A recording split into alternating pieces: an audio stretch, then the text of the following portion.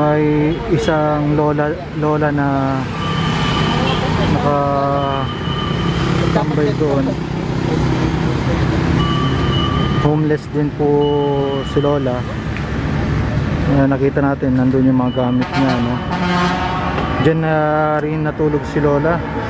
Dito sa gitna ng kalsada.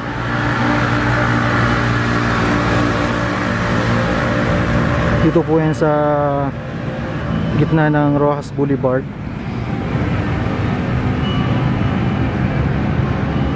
Dito kasi sa Manila Bay marami po talagang nag uh, i-standby dito ng mga homeless.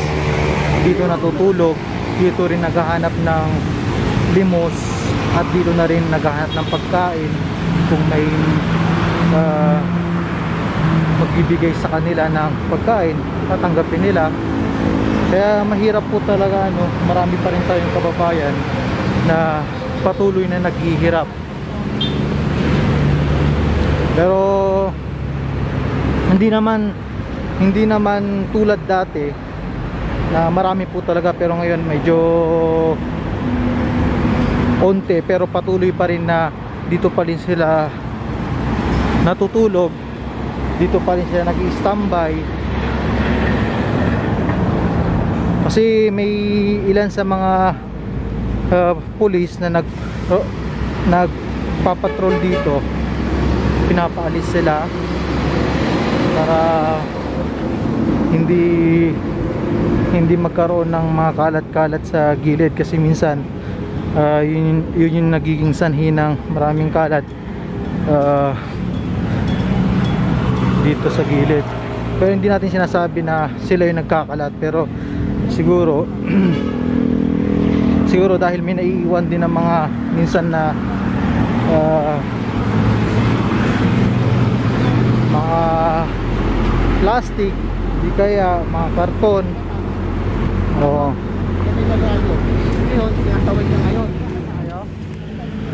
nagagaan na kayo? wala? ha? taga saan kayo kuya? anong pangalan nyo? ha?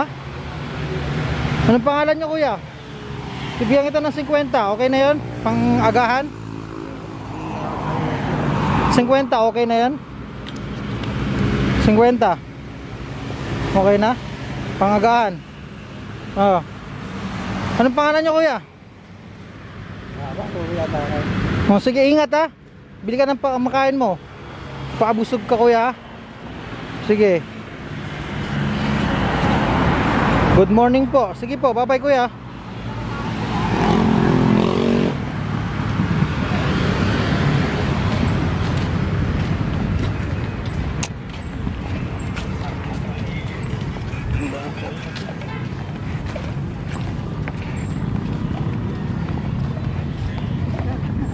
Kuya, masarap yung luto nyo ah. Inangkal. Mas maganda yung pagkakaluto. Maganda yung pagkakaluto. Masarap.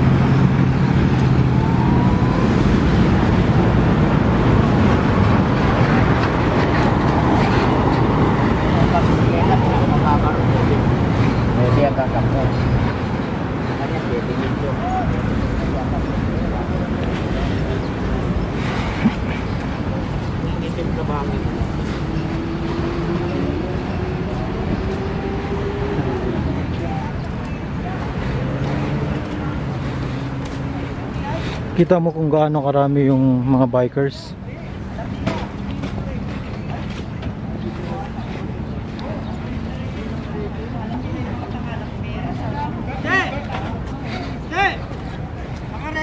Birth certificate sa NBI? Alin? Yung NBI natin naka-record sa NBI? Wala. Oh, wala eh. Pag wala eh. Wala NBI? Wala. Wala yan. Oh. Malalaman mo kung ano eh.